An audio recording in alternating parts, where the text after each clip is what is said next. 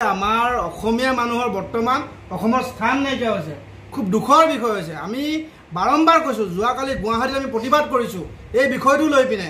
আৰু আমি দেখা পাইছোঁ কিছুদিনৰ আগতে অসমত আপোনাৰ এই আপোনাৰ অনা অসমীয়া লোকসকলে মাৰোৱাৰী সম্প্ৰদায়ৰ লোকসকলে অসমীয়া মানুহক অত্যাচাৰ কৰিব বিহাৰী মানুহে তিনিচুকীয়াত অসমীয়া মানুহ মাৰিব। আৰু দেখা পাইছোঁ আমাৰ ঢিঙত অসমীয়া আমাৰ নিজৰ ছোৱালী এজনীক তেওঁলোকে মাৰপিট অত্যাচাৰ কৰিব বলৎকাৰ কৰিব। এয়া বাৰম্বাৰ অসমত হৈ আছে। আজিৰ ঘটনা নহয়।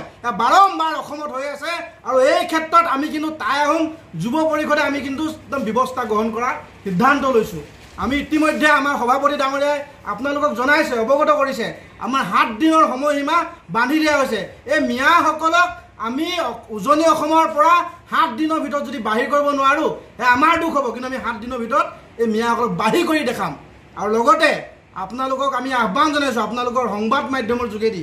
আমাৰ অসমীয়া ৰাইজসকলক যিসকল আমাৰ খিলঞ্জীয়া থলুৱা ৰাইজ আছে তেওঁলোকক আহ্বান জনাইছোঁ আমাৰ সৰু ডাঙৰ প্ৰতিটো কাম আমি নিজে কৰিব শিকিব লাগিব।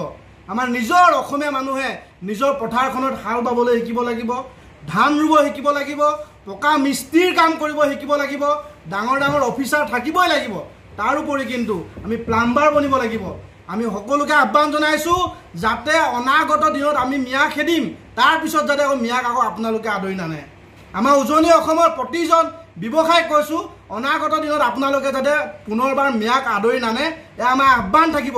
আৰু লগতে আৰু এটা কথা ক'ম এই বিধায়ক এই ৰচিদ বুলি কোৱাজনক বিধায়কজনক তেওঁ বিধায়ক যে হৈ আছে তেওঁ কি মিয়া ভোটেদি বিধায়ক হৈ আছে নেকি? অসমত এইটো উপস্থাপন হৈ গৈছে। আব্দুল ৰচিদে মিয়া ভোট লৈ পিনে অসমত তেওঁ এম এল এ হৈ আছে। প্ৰথম কথা তেওঁ এম এল এ পদটো কৰ্তন কৰিবলৈ আমি টাই আহোম যুৱ পৰিষদে আমি দাবী উত্থাপন কৰিছোঁ।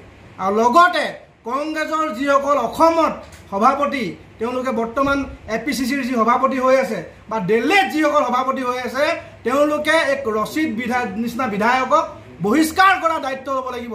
নহ'লে উজনি অসমত গৌৰৱ গগৈক জিকাই যিদৰে আহোমে পঠাইছিলে হৰাবলৈ কিন্তু বেছি সময় নালাগিব। স্পষ্ট কথা ৰচিদ বোলা এম এল এজনক উজনি তেওঁ অসমৰ পৰা বাহিৰ কৰিব লাগিব। তেওঁ কংগ্ৰেছৰ পৰা বাহিৰ কৰি দেখুৱাওক তেতিয়াহে আমি তেওঁলোক কিন্তু আমি পিছৰ পৰ্যায়ত আমি চিন্তা কৰিম। আৰু বিজেপিৰ যিসকল দলীয় নেতাসকল আছে তেওঁলোকে উজনি নামনি কৈ আছে। উজনি নামনি কিয় নাথাকিব? তেওঁলোকে যদি পাৰে মিয়া তেওঁলোকৰ নামনিৰ পৰা খেদি পঠাওক। আমি উজনিত কিয় মিয়া ৰাখিম আমি? তেওঁলোকে খেদিব নোৱাৰে বুলি আমি নেখেদাকে থাকিম নেকি? এইটো হ'ব নোৱাৰে। আমি উজনিৰ পৰা কিন্তু স্পষ্ট কথা মিয়াও খেদিম অনা অসমীয়াও খেদিম চিধা কথা।